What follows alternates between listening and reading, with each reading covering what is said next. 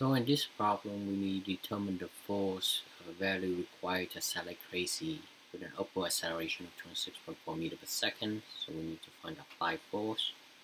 Uh, what is given to us is the mass, which is uh, 50.1 kilograms, and the acceleration is 26.4 meter per second square.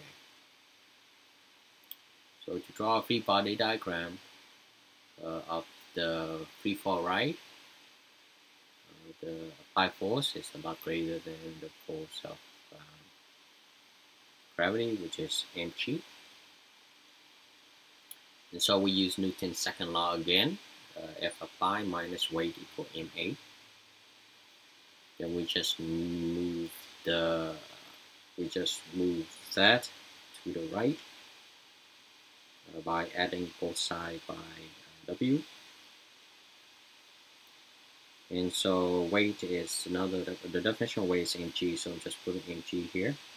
And now we have uh, m, we have we have m, we have a, we have uh, g, which is 9.8 meter per second square. So therefore we can solve this problem uh, like that. Now you just need to plug in the numbers and it will give you the answer in newtons.